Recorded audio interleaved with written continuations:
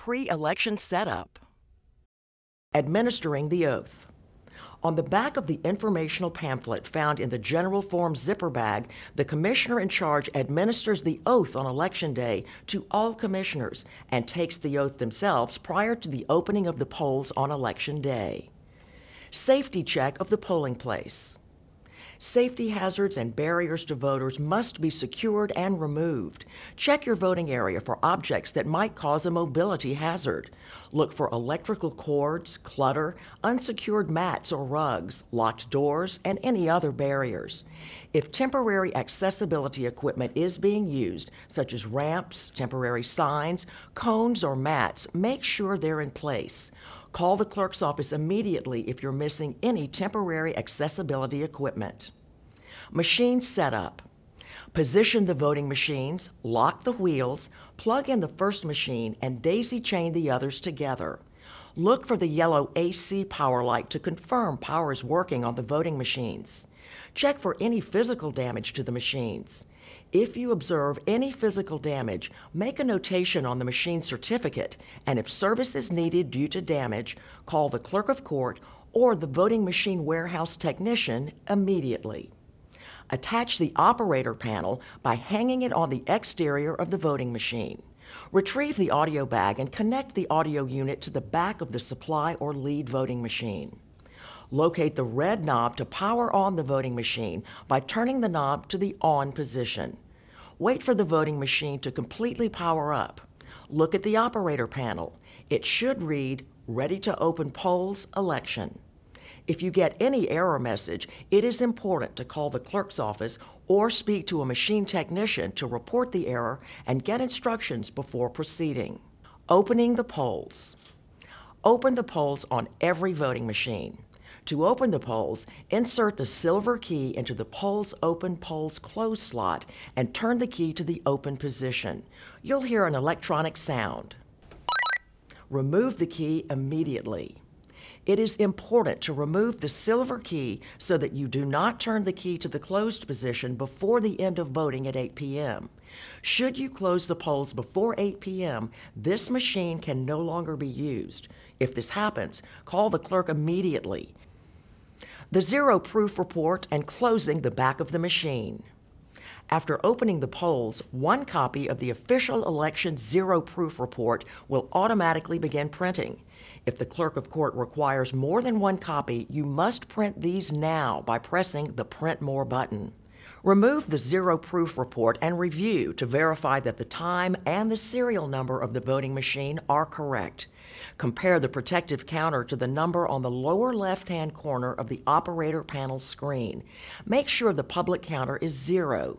Verify the ward and precinct are correct, and verify that all candidate and proposition counters are zero. You can now close the back of the machine. Thread the operator panel cord through the groove in the back door, close, and lock the door with the yellow capped key. Raising front panel, completing B2 key envelope. Move to the front of the voting machine and pull the voter panel up in a vertical position. It won't drop or fall. This is the position to use for voters who need to be seated while voting. Now, move to the back of the voting machine and pull the maroon latch and tilt the voter panel until it is resting on the back of the voting unit. Move to the front of the voting machine again to unlock the front panel using the yellow capped key. Unfold the doors. Carefully raise the top white panel with one hand and move a side door into place, joining it with the bracket on the inside top of the door, then joining the second door. Remove the curtains from the tube by pushing the release button on the tube above the wheels. Unroll the curtains and open the frame into a U shape. Gently push the arms of the curtain frame through the open knobs on the inside of the front doors. Check that the ballot information is all correct. To do this, make sure the ballot information on the zero proof report matches the ballot information on the machine face and that it matches the ballot information on the sample ballot found in the precinct specific envelope. If any ballot information is not correct, call the clerk's office. If all is correct, fill in the date on the zero report and have all commissioners sign the report before posting it at the entrance to the polling place. You may find the Braille book and a full page magnifier located on the inside front door of the supply or lead machine or in the green canvas bag for anyone's use to be able to magnify the ballot on the voting machine. Place voting machine keys in the B2 key envelope and seal. All commissioners sign the key envelope and it remains sealed until voting is complete or if the keys are needed to service a voting machine. All service information must be documented on the back of the envelope. Putting out the Vote Here A-frame signs. All polling places will have at least one A-frame Vote Here sign. They are to be placed outside the polling place in the morning where voters can see them from the road while driving on Election Day. After the polls are closed, they must be picked up and placed next to the voting machines. Posting all reports and informational posters. Post the signage from your supply pack at the entrance to the polling place using the white stickers included in your supplies. This includes the election date and hours poster. Prior to posting, fill in the correct date and polling hours.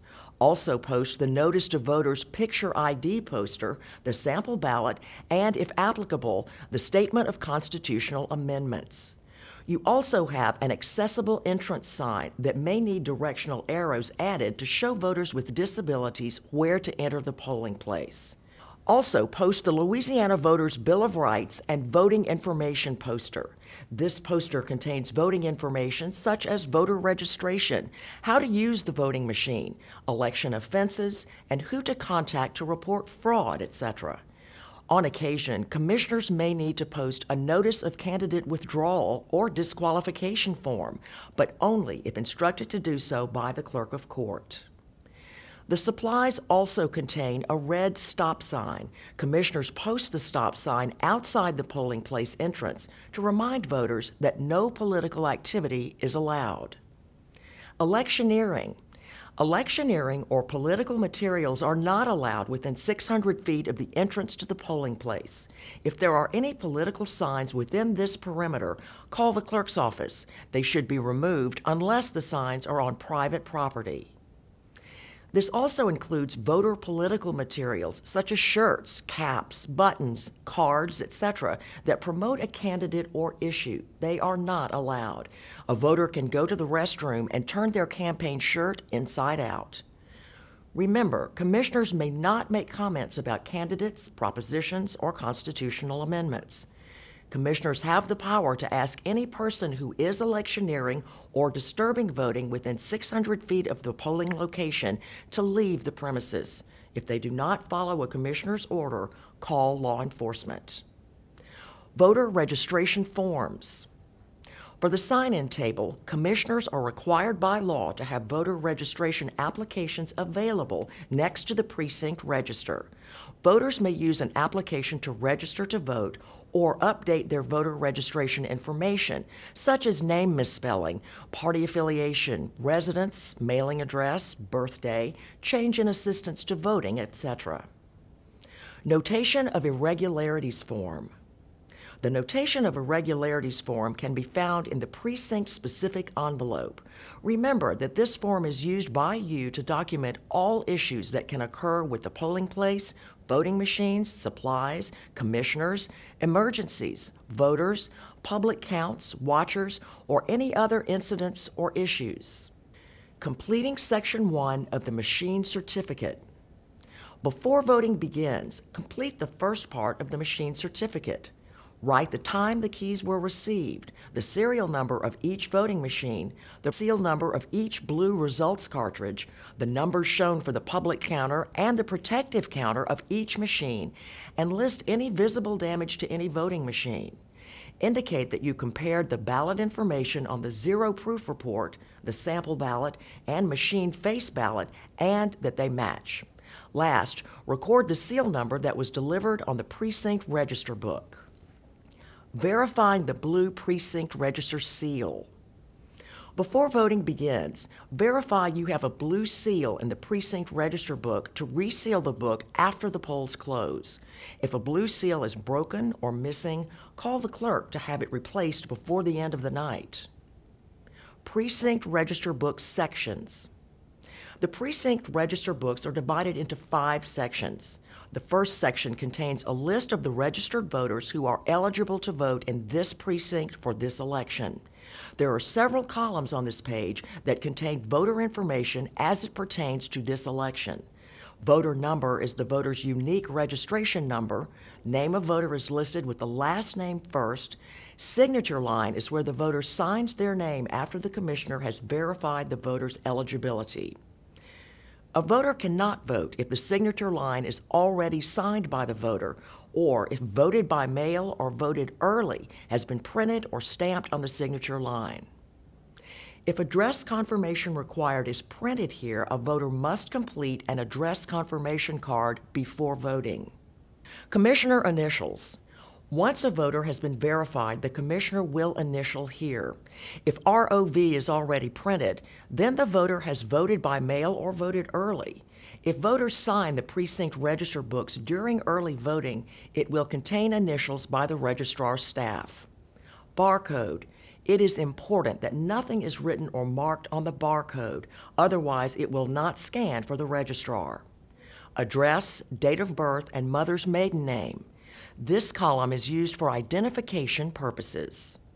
Lockout districts. This column will either be blank or contain a button number.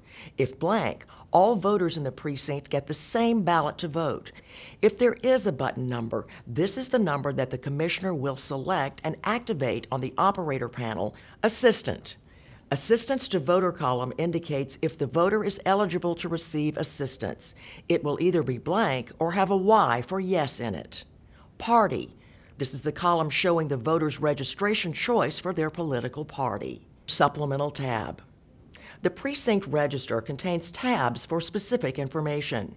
The supplemental tab is where you put supplemental precinct register pages that are delivered election morning by the clerk's office before voting begins and will arrive in the list or supplemental list envelope. These pages are used to find voters when they are not in the original pages of the precinct register. Also in this envelope, you may find a list of persons that voted absentee by mail. Always work the supplemental list of persons that voted absentee by mail by finding the voter's name in the precinct register and writing voted by mail on their signature line and initialing so that if they come into the precinct to vote, you will know that they have already voted. You may also receive a call from the registrar to mark voted by mail on a voter's signature line if a ballot is received by the registrar from a military person or overseas citizen on Election Day.